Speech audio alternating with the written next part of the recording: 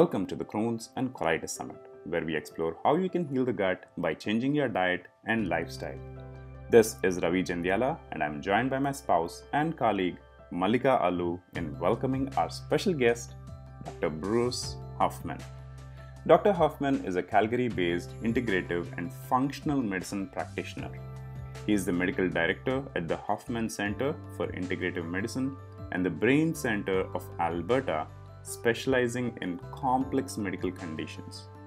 Dr. Hoffman is a board certified and has fellowship in anti-aging medicine as well as master's degree in clinical nutrition.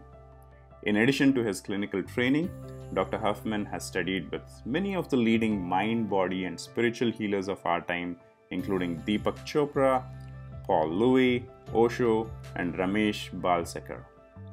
He has shared the stage with Dr. Deepak Chopra and Dr. John F. Demartini, and he continues to spread his inspiring vision of healing and wellness with the audiences and patients all around the world. Dr. Hoffman, it's a pleasure to have you in our summit. Thank you so much, Ravi. Doctor, as part of our healing journey, when Malika was working on reversing her ulcerative colitis, Yeah. we reversed that we have to look beyond modern medicine. Now, before I go into the question, I want to clarify one thing. We are not against modern medicine. If I break my leg, I'm not going to put a herb or something on it and expect it to heal. Allopathy or modern medicine is an excellent choice for life threatening or traumatic situations. However, when it comes to treating autoimmune conditions, especially like uh, Crohn's and colitis, it only does disease management by suppressing the symptoms. Having said that, there could also be times when we have to combine both these approaches of, say, allopathy and holistic healing. I would like to hear your thoughts on this.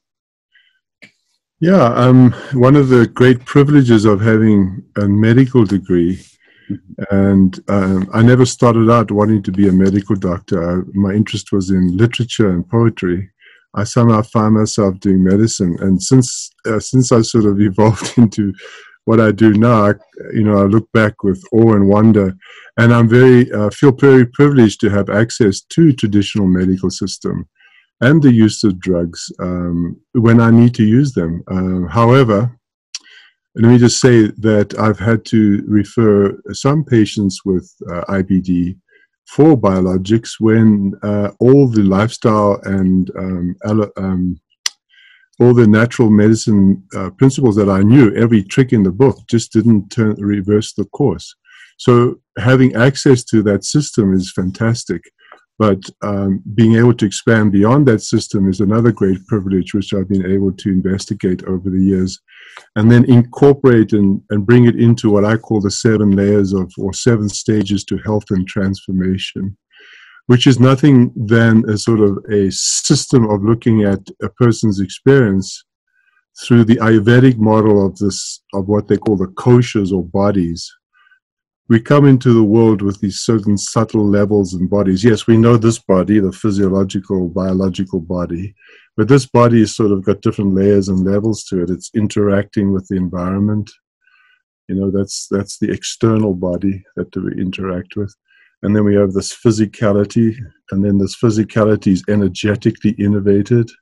And then our energy bodies are influenced by emotional fields, and our emotional fields are, interve- uh, are interrelated with our thoughts and beliefs and concepts and attitudes and stories we tell ourselves, which are then further subtly influenced by what we call the soul. In the first half of life, we're driven by all these goals and determinants of hormones and the need to be seen by parents, peers, and loved ones. But in the second half of life, we have to sort of look at who we truly are, who we left behind in the pursuit of our ego driven drives and ideals. And that's this, we call that the soul. It's the deepest part of who you are. And then transcendent to our physical existence, there's a great mystery, the great cosmos. And that is a mystery.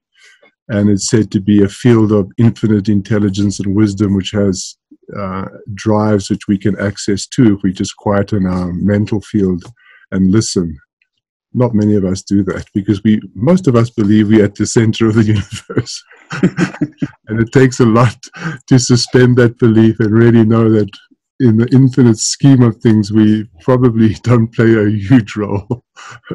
we are a finite speck in the infinity of the cosmos. So it depends on how you look at things.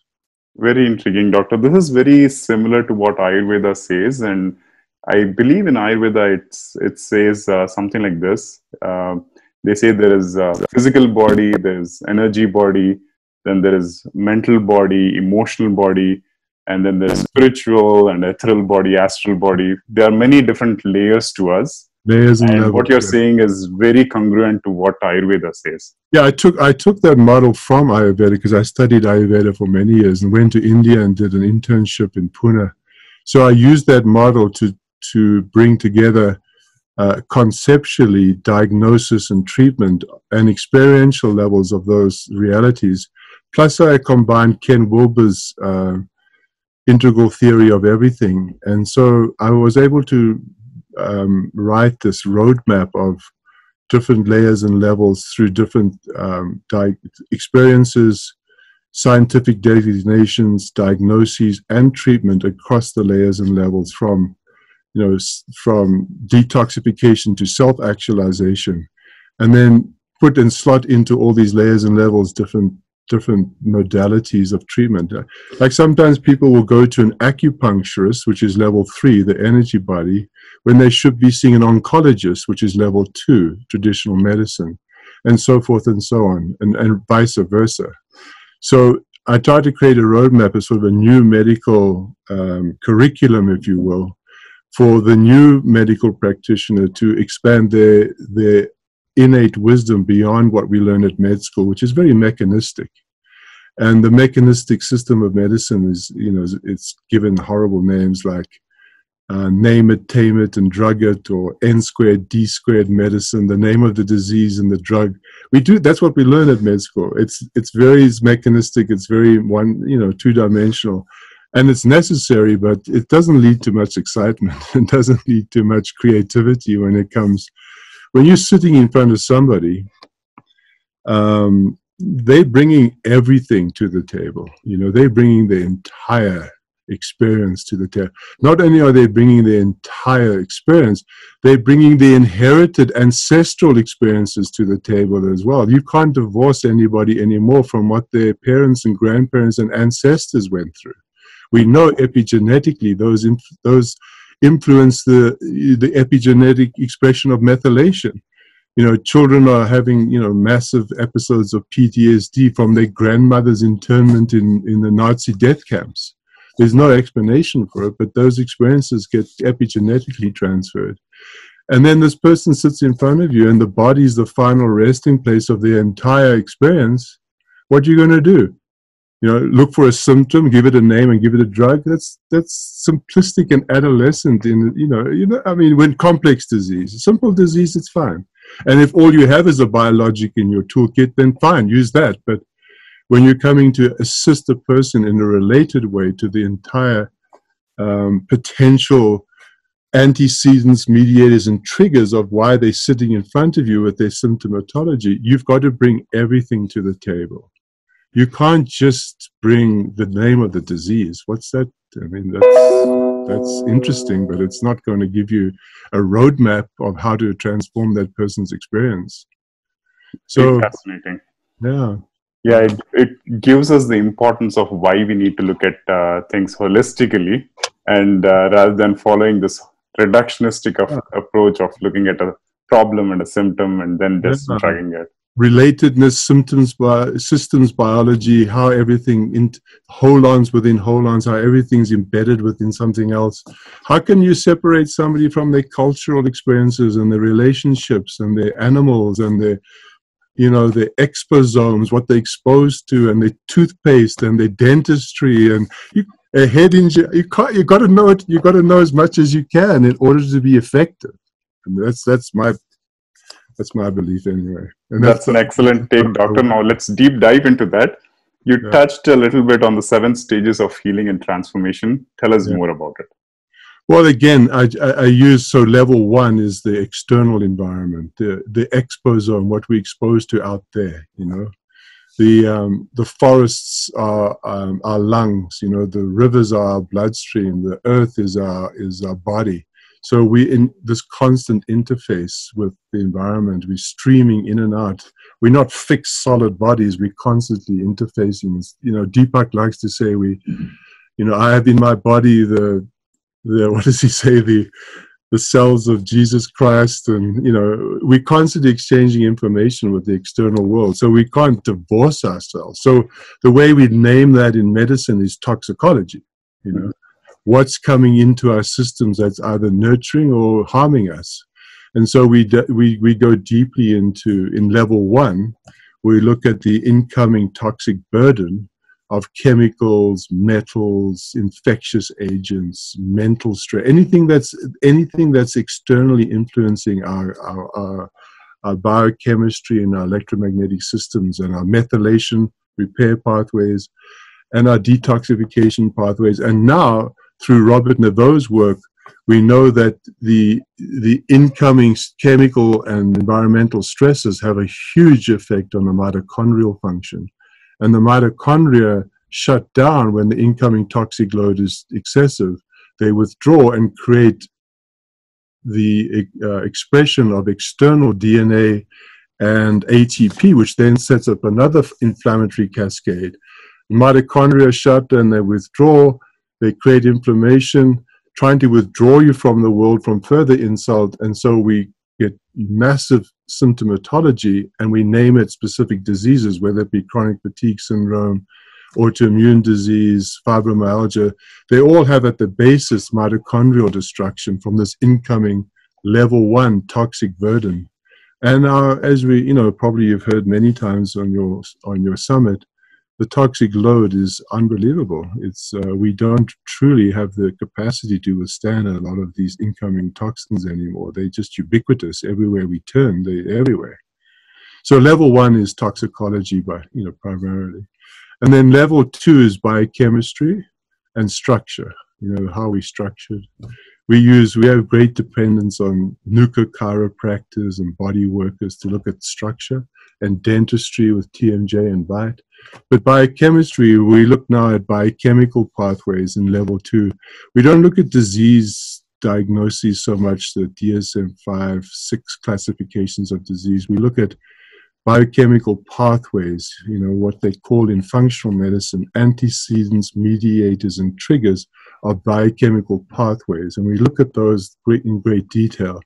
We do lots of lab work looking at biochemistry, not just a few. We do like tons of lab work looking at you know nutritional uh, input, how our gut is the the ecological structure of the gut, whether it's permeable, what the dysbiosis fragments are, whether there's high histamine, whether there's zonulins.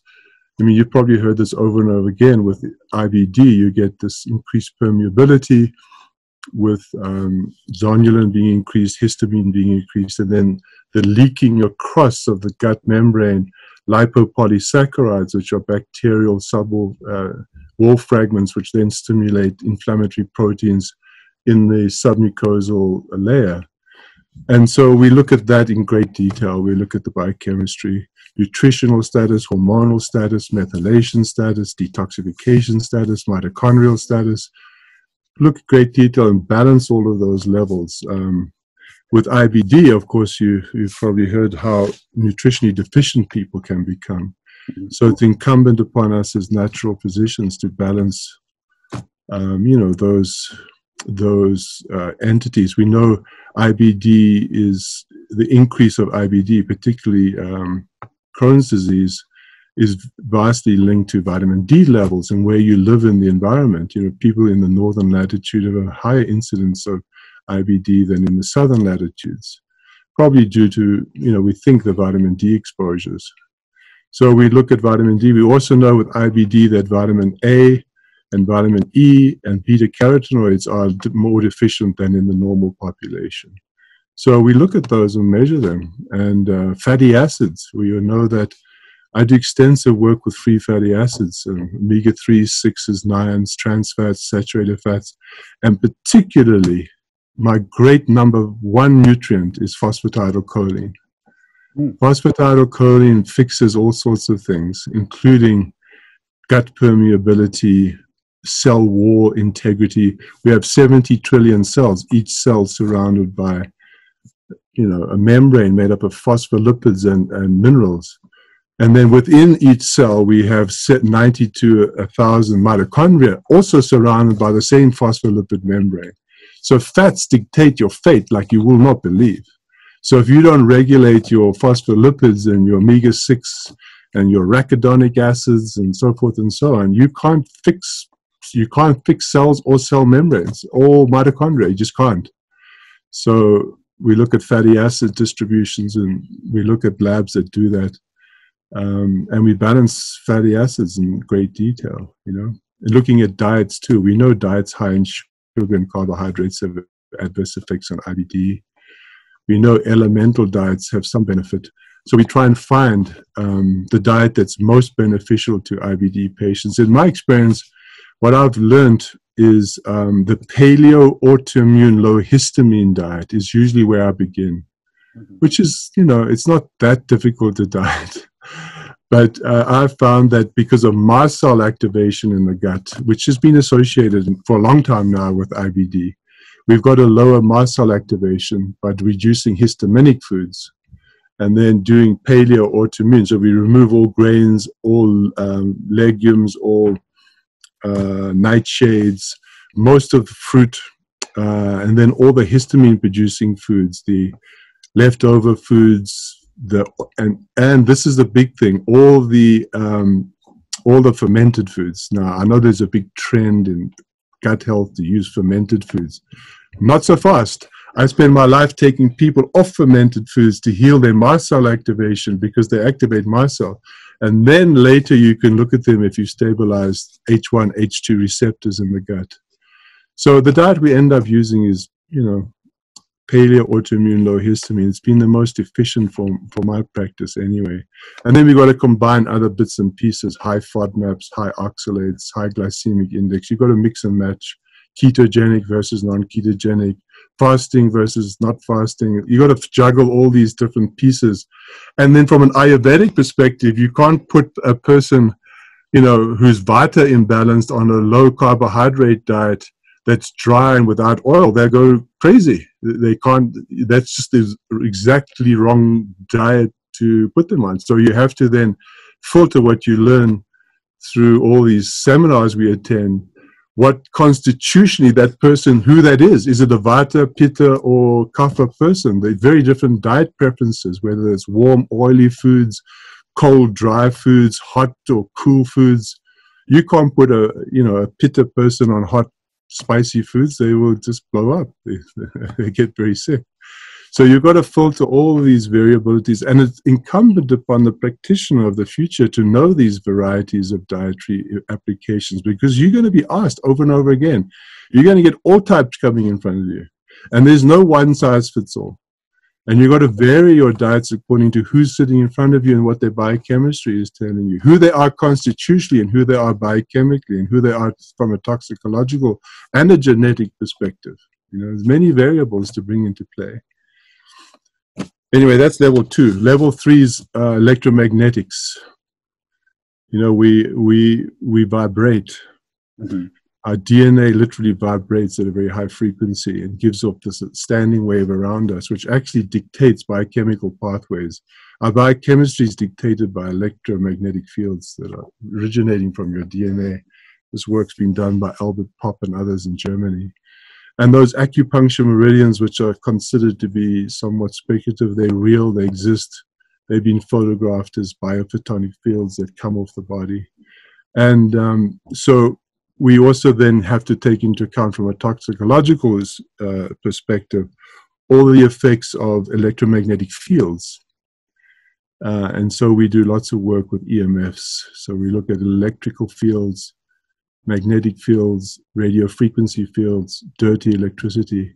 And part of our team is the, um, you know, are the um, building biologists who go into homes and create sleep sanctuaries and turn off the routers and turn off the iPhone with the put the airplane mode and you know unplug the plasma TV that's creating dirty electricity and put a kill switch on the electrical switch downstairs, turn off the router at night. Um, this is essential because we know from many studies now, there's 28,000 studies done out of Europe showing that EMS produce cell activation and histamine. And when we sleep at night, the average person sitting in the home, in an inner city home, has got two to three volts running through their body at night, when you should have 10 millivolts according to the World Health Organization standard. That's crazy. Yeah, and those volts create, you know, they create a stress response, which opens up permeability the blood-brain barrier, the mitochondrial barrier, the gut barrier gets opened by that stress response. When you're sleeping in a stress response all night, it creates permeability through histamine and through something called MMP9, which then depletes melatonin, melatonin being hugely influential in antioxidants for the brain and gut. You know, melatonin is huge in the gut. So when we're sleeping in electromagnetic fields at night, with this voltage running through us, plus the EMFs, um, you can't heal anybody with great efficiency if that stress response is generated. Because you don't heal if you're in a stress response. Mm-hmm. You only heal in a in a relaxation response, in a healing response.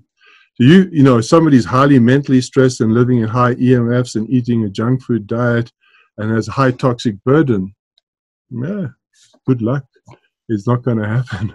As you probably found out, you got to clean up everything. Absolutely. I think at the minimum, what we can do is at least turn off the Wi Fi at night times and put our cell phones in airplane mode.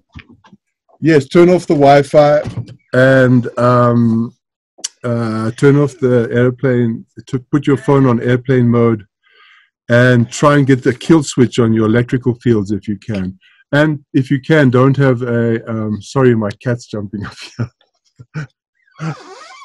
uh, don't have a box spring mattress and um, a metal frame bed. That helps as well. You know, but building biologists go in and they measure your voltage in your bed at night, and the average is two to three volts in the inner city. And then level four is all to do with emotions, the emotional body. And that's a whole can of worms. You know, people are born into light, into, you know, people are born into family systems that often generate early childhood trauma, whether it be abuse trauma or neglect trauma, or what we call interrupted bonds with caregivers. And the first 10 years of life, the child entrains with the mother's right prefrontal cortex to develop a sense of self and learn to self regulate and feel safe in the world. But if the mother's offline because of inherited trauma or not being seen by her mother, she doesn't care, for, or because she's worried about father who's not coming home at night because he drinks or is having an affair, that mother's not attuned to the child, and that leads to a disruption in the entrainment and self-regulation of the child, which then develops a stress response and a hypervigilance, which can be detected on a QEEG or a NeuroQuant MRI. And that then sets the HPA axis for chronic stress throughout the person's life. And they wonder why they're having anxiety and sleep disturbances and palpitations at 40.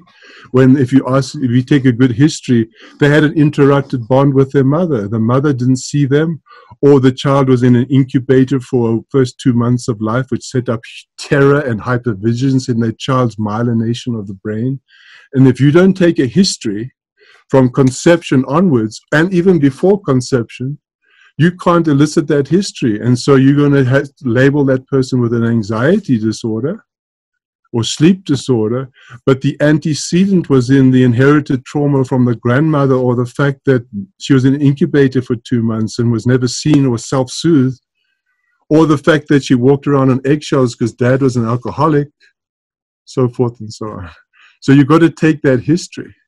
Mm-hmm. And so early adverse experiences, we know from all the ACE studies, have tremendous negative effects on health outcomes in later life. So without taking that history, you also won't look at, won't be able to identify all the potential triggers of, of, of inflammation. Now, interestingly, the gut is a metaphor or symbol, if you will, of mother. Why? Because it's it, it takes in nutrition and it absorbs nutrition. So it's highly linked to the autonomic nervous system.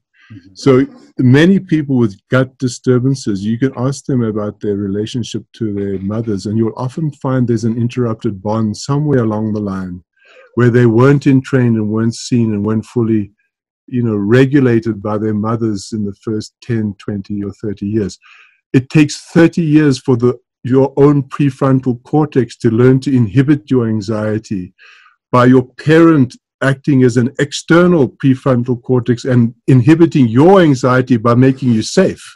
You only myelinate that part of the mammalian brain up to about 30 in women and men a bit longer.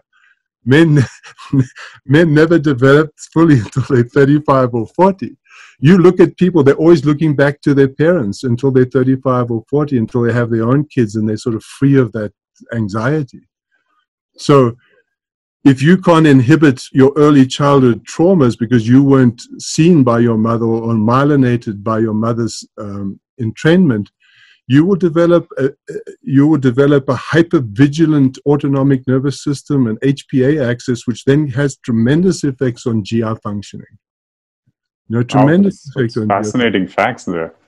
Yeah, it's fascinating. You, if you don't take those histories, you can treat IBD with a biologic. Go ahead but if you look back and upstream, you can find all sorts of things that you need to look at to learn. One of the best things we do in our work is learning, teaching individuals how to develop a core sense of self and self-regulate. You know, because the, the gut is highly innervated through the enteric nervous system, as you know, mm-hmm. which is, you know, the autonomic nervous system, the sympathetics and parasympathetics, which then, you know, connects with um, the immune system in the gut, you know.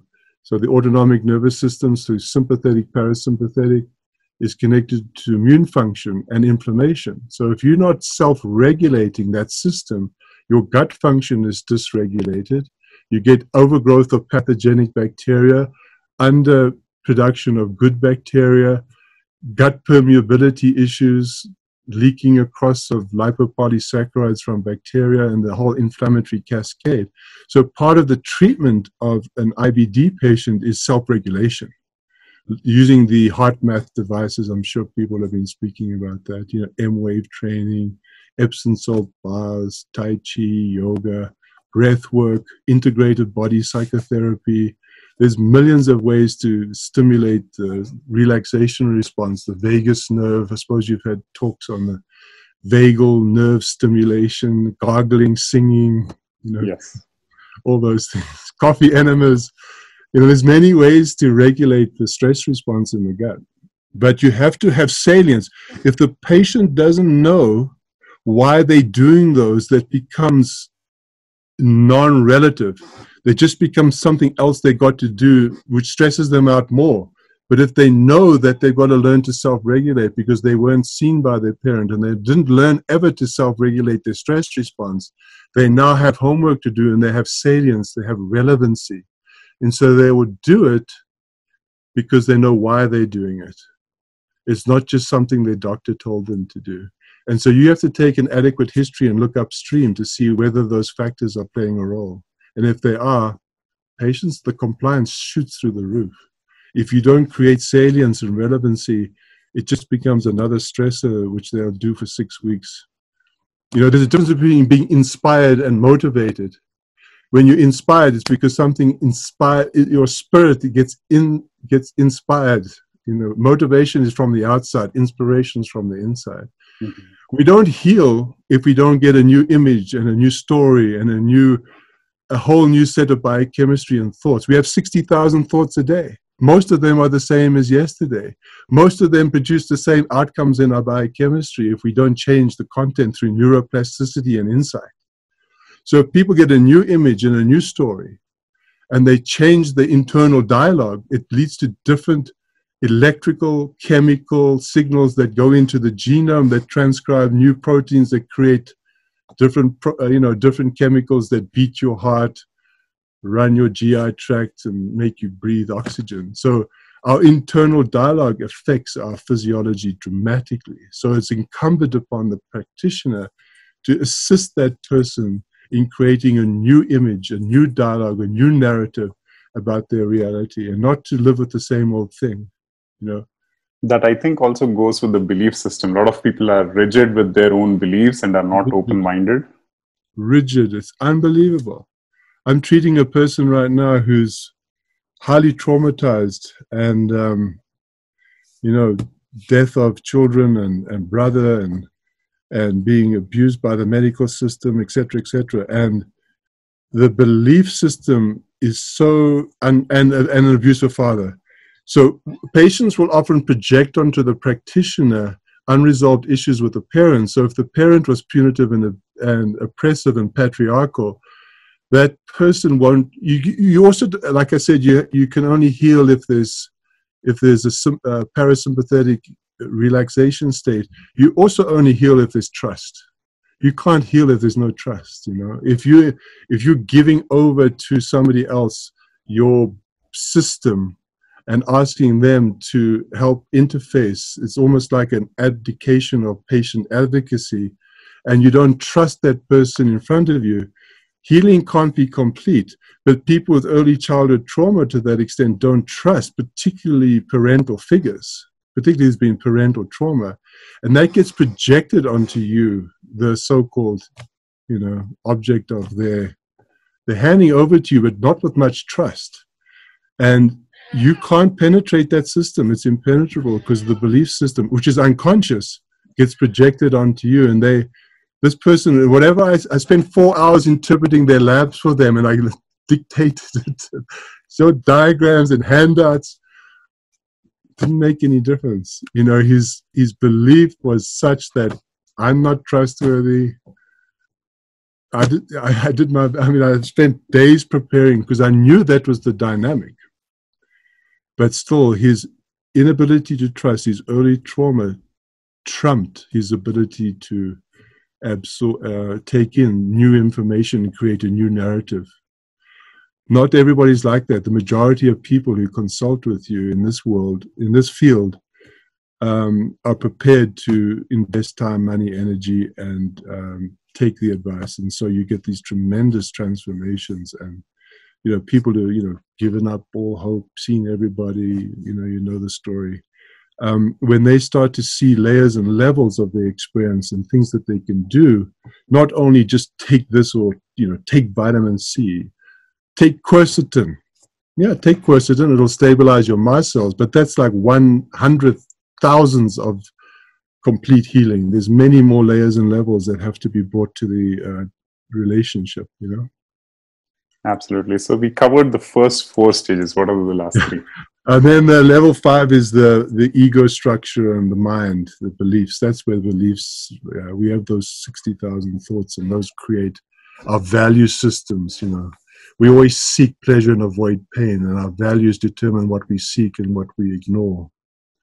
And so, our beliefs, our sense of self, then create this internal dialogue, which creates um, how we orientate our, ourselves to the world. And the first half of life, as I said, is very different from the second half of life. We're taken up by drives in the first half of life to become something first of all, we've got to be seen by our parents to be safe. First 10 years, because we dependent on our parents. And if we're not safe with our parents, we develop hypervigilance. So the drive is to be safe. The second decade, we need to be seen by our peers. And that's why all this bullying and thing is so, bullying is so um, uh, unfortunate because if we're not myelinated to accept ourselves through our peer group, we develop, you know, nasty internal dialogue and a punitive superego where we think we're not good enough. And then the third decade, we try and seek the spouse to procreate the selfish gene and procreate the species. We educate ourselves, we try and earn money, we build a house, we take out a bank loan, and we try and move forward into the world. That's all drives. You know, Freud was right, Adler was right. The drives of the first half of life which take us over, and we can't ignore them. Jung, the great psychoanalyst of you know, compa- uh, uh, compatriot of, of Freud, refused to take on patients in the first 30, 40 years. He said, There's nobody home. He said, There's just this individual of drives you know, there's there's no consciousness, there's no self-reflection, mm-hmm. and sort of half right. You know? It's it's not entirely true. but in the second half of life, which can start at 35, we're driven to become more uh, ourselves, more of our authentic selves. And then we seek to bring home the parts we left behind in order to achieve the first half of life drives. And so then we, we become what's called more soul driven rather than ego driven. And that's a very different flavor. It's a very different orientation to our life. We want to know who we are authentically. What parts of ourselves have we left behind? What parts of ourselves do we need to bring home? Because ultimately, all sickness is homesickness. You know, we we have to bring parts to bring home the parts of ourselves we left behind, and that's a different phase of healing, which takes us into level six, which is soul, our innermost core self. You know, when you're sitting here in front of me, you know your your your body changes, your head moves, your emotions come and go, your breath moves, your thoughts come and go. But to whom are those happening? You know, who are you in your essence? That's your your soul, which is which is more of a witnessing, observant state from the Ayurvedic kosha perspective. It's an observe. They call it the Atman. You know, the the presence that's not identified with the objects of perception. You know? And then level seven is transcendent to that. You know, all reality is ultimately, you know, frozen light. You know, we know that from quantum theory. This table here is just light that's frozen into space time reality. But transcendent to that is this infinite mystery, this cosmos of intelligence and light, or whatever you wish to call it, that has intent and, and, and genius. And if we just, you know, suspend, you know, the ancient Greek um, temples had, they were open to the sky. You went in and you sat and you just you know, you sat in reverence to the great mystery because in the grand scheme of things, we're not that significant. But we forget that and we make ourselves the center of the universe.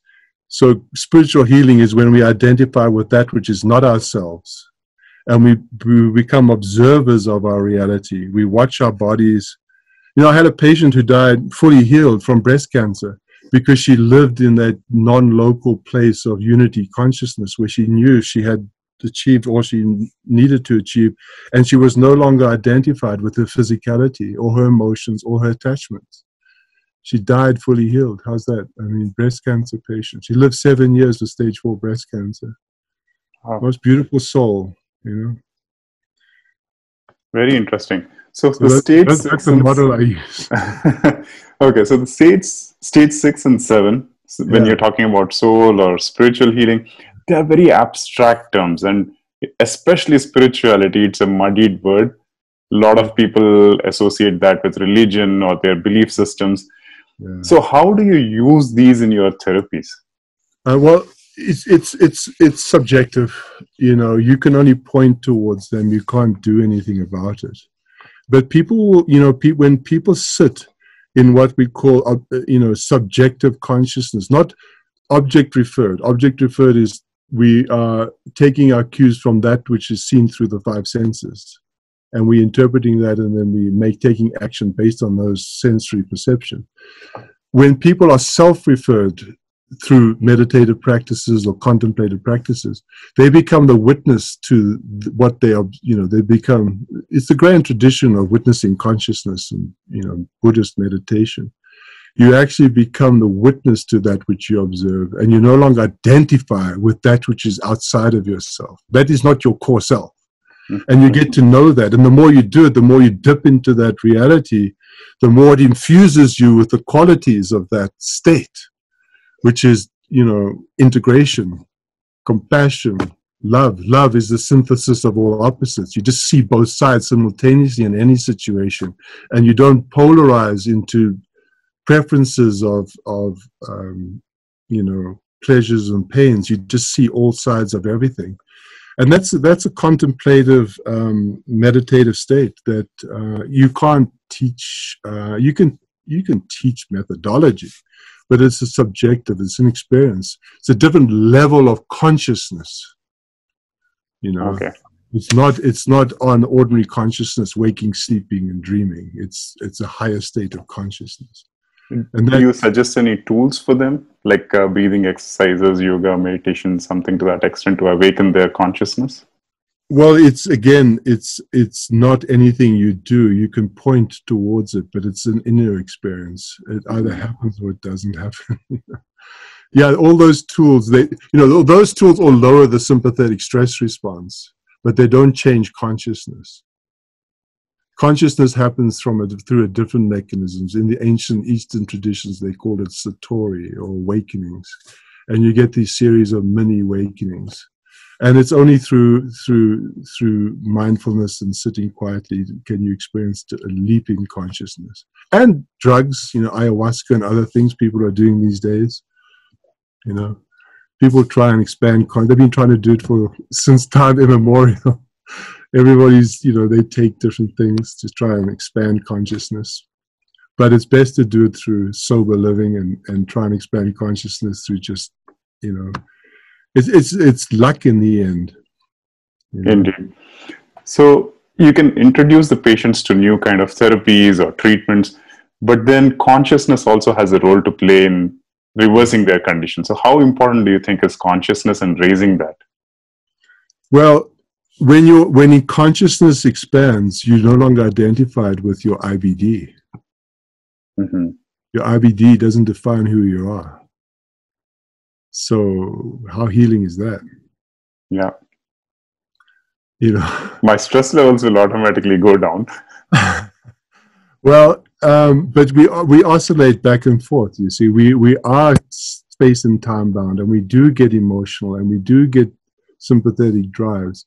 But if you can mitigate that by having yourself rooted in mindfulness, beyond space time, beyond identification with physicality, you you you you you have a different relationship to your IBD or your symptoms. There's a whole different flavor to it. So consciousness is everything. Mm-hmm. You know, that's the highest level of healing is when you're living in that non-local um, sense of self.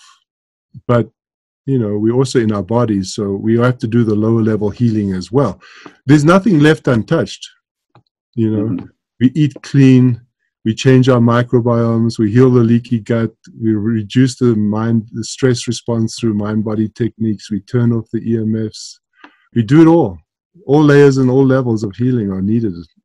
And sometimes we leave behind the more physical things and we just stay in our in our pure self, our pure st- state of consciousness. And like my patient Deborah, she healed from she died from breast cancer, but she died fully healed.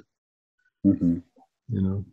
Yeah, the innate capacity to heal is within us, and like Hippocrates once said, the natural healing force within us is the greatest force in getting well. And to awaken that, I think the holistic view that you're talking about makes much more sense. But it does require it does require consciousness and the understanding of layers and levels of consciousness. It, we, you know, um, the innate ability is there, but it sometimes has to be awakened by addressing all layers and all levels. Mm-hmm. Uh, and sometimes uh, we can't turn off IBD with, with anything, and we just need the you know Remicade or Humira. That's okay too.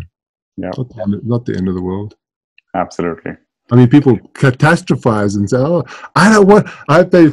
I don't want to be on a biologic. Why don't you want to be on a biologic? It's going to save your life."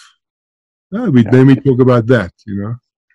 Yeah. And we try everything else, but if it's if it's not working, take the biologic. Biologic also from you know it's also a manifestation of the divine order. Why not use it if it works? Shuts down tumor necrosis factor and the and the and the inflammatory cascade. By saves your life. Mm-hmm. Had one young kid, 15 years old, also did everything, and um, I said to the, the, the parents, you know, she needs to be on a biologic, and thank God they did. They put on it within two to three weeks. She was eating again and putting on weight, and she was near death. But they didn't want to use a biologic. Mm-hmm. I only saw her in the end stages. I, I didn't treat her two, three years before, so I wish we had time to do everything else. But she was near death and she needed a biologic, and they took it, and she's fine now. She's doing great, and now we're working back. We're cleaning up her diet and everything else. You know. Indeed, indeed. When when it requires, we have to go through whatever is needed to save our body. So coming back to the step one mm. of toxins. Yeah. Um, you talked about toxins and how we are inundated with toxins in our indoor environments, outdoor environments, everywhere we go. Um, I'm especially interested in mold. Does mold have any impact to play in IBD manifestation? Yeah, mold is interesting. Eh? I mean, I treat mold illness a lot. And mold exerts its effect through the innate immune system. And the innate immune system releases all these inflammatory cytokines. But it also triggers mast cell activation. And mast cell activation, as you know, is highly um, um, implicated in IBD. And so mold is a huge potential trigger here, for sure. And to treat mold, uh, to identify, diagnose mold, and treat it, there's a sequence of steps you need to follow. And it's not very well done. Mm-hmm. It's poorly done. People get little get steps, but they don't get the full thing. You know, you've got to a take a history and look at the history and put it into this questionnaire called the CIRS questionnaire and see how many symptoms are there. And then you got to ask questions about the home and the and the car and the workplace and the cabin. Is there signs of visible mold damage? And then you got to do ERMI tests. You got to do DNA fragmentation of mold spores. And then you got to do the visual contrast test to look for the effects of biotoxin illness on the optic nerve. And then you got to do the Shoemaker panel of cytokines to see if they upregulated, influencing MSH. A nasal swab for MARCoNS. Look at the hormones. Look at VEGF. There's all these things you need to do. And a recent uh, contributor to the field is the urinary mycotoxin levels to see if they're excreting the mycotoxins associated with the pathogenic molds, of which there are only about five. And, you know, if you don't do it in that sequence, uh, and you don't send a, a, visual, you don't send a mold inspector who does a visual inspection of the home. A lot of mold inspectors want to go into the home and wave an air sampler and, and walk out. That's not it. Don't uh, kick them out. You don't want that. They must look from the attic to the basement, look very finely for all sorts of evidence of water damage. And then you got the things like the ductwork and your clothing and the carpets and the art and the books, what to do with those if you do have a mold issue. But yes, mold is huge. Mold okay. is huge. Always, okay. always look at mold. Mold and infections. Absolutely. Any quick tips you can provide uh, for detoxification against these toxins? uh, against mold in particular? Uh, mold and other toxins in general, because we are having these toxins everywhere, like formaldehyde on our furniture and all of the toxins that come from our cleaning products, the personal care products. How do we detoxify from all of that? It, well, that list is it runs into infinity. but, but but you know, just general eat clean. You know, paleo autoimmune low histaminic diet organic. Organic is huge. People poo poo it. They say it doesn't make a difference. It makes a difference. There's no question about it. Use air filtrations. You know, use a HEPA filter that goes down to 0.1 microns, mm-hmm. not 0.3. The ones you buy at, you know, I don't know what you have in America, the Walmart. I would like something like that, or Costco. That's 0.3 microns. They don't do the job. You've got to get an air filtration system. You've got to get a HEPA filter that goes down to 0.3 micron, uh, 0.1 microns, you know? Mm-hmm. And then um, you've got to look at phase one, phase two liver detoxification pathways. Um, and you've got to um, use the micro and macronutrients that facilitate those, those pathways. Mm-hmm. So we do a lot of genetic testing for cytochrome P450 enzymes and see if you have SNPs there one of the best tests I've ever come across is the IGL uh, mitochondrial test out of Germany. And that test is, is like my, it's, you know, highly, I covered that test because it tells me if your mitochondria are low in number, if they have enough uh, phosphatidylcholine surrounding the cell membrane, what the, what the um, uh, mineral levels are that create the microvoltage that causes the information going in and out of the mitochondria. It tells me if there's uh, DNA fragments outside the outside the mitochondria. It tells me what toxins are sitting on the mitochondria. Everything but infections. It tells me about chemicals, insecticides, glyphosate. Glyphosate's a huge one. Mm-hmm. Uh, it tells me about uh, heavy metals and it tells me about fungal metabolites. So it tells me all this toxic burden. So if you've got fungal metabolites, you go down the mold pathway. If you've got chemicals, you go down the uh, liver detox pathways and the use of antioxidants like superoxide dismutase, catalase, and glutathione in huge amounts. Glutathione, glutathione, glutathione. You know, infrared saunas. Infrared saunas release, within the first five minutes of sweating, you release 90% of the superficial toxins on your surface. So infrared saunas are huge. Dry skin brushing, all those old naturopathic tricks, they actually work. So we okay. use them. Yeah. You'll hear that. Yeah. And then clean food and lots of vegetables, and, you know, high fiber intake. Fiber, you know, has been shown to have beneficial effects on IBD, particularly Crohn's disease. Not so much uh, ulcerative colitis. Okay. And strange enough, more fruit fiber than vegetable fiber, which uh, we limit fruit usually because of histamine, but fruit fiber has been shown to be beneficial in um, Crohn's. Okay, excellent. Those are some of the great tips. Any other tips you want to finally share with our viewers for Crohn's and colitis, especially? Um, with Crohn's and colitis, you know, you've just got to take a history, eh, and and you've got to get, you've got to get all the, you know, all the, even silly things like airline travels going up above 2,000 meters being associated with relapse rates, you know. Um, you got to ask, you got to take this very thorough history and see what all your risk factors are. What is your in, what is your stress response? What's your what's your early developmental, you know, biography all about? What's your food intake? I mean, every time you eat, you're washing your genome with information, either pro or anti-inflammatory. If you don't get your diet straight, forget about it. You know, they say, oh, the literature on food and IBD is not that great. It's, let me tell you from clinical experience, it's everything. Not, no, let me rephrase it. It's not always everything. But when it is something, it's huge. You know, like you take a majority, some, many people of gluten and casein, even that simple step can have a huge difference because there's a 10 times increased association of Crohn's disease with celiacs you know. Mm-hmm. And gluten is highly inflammatory to not, you don't even have to have celiac disease. You can just have gluten sensitivity. It creates massive permeability issues and upstream metabolites of inflammation. And through molecular mimicry, cross reacts with multiple tissues. So, you know, just, just take a thorough history, clean up as much as you can, and um, diet number one and then look at functional medicine testing to look at food sensitivity, gut microbiome ecology. There's fabulous tests now on gut microbiome ecology, fabulous tests, either DNA probes or cultures. Look at uh, zonulin, look at permeability, look at histamine, look at his DAO enzyme that breaks down histamine.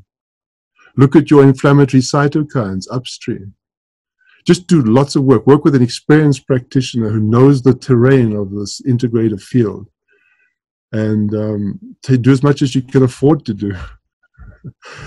and if all else fails, access that self-referred individual who's not identified with the objects of perception, which is this physical body.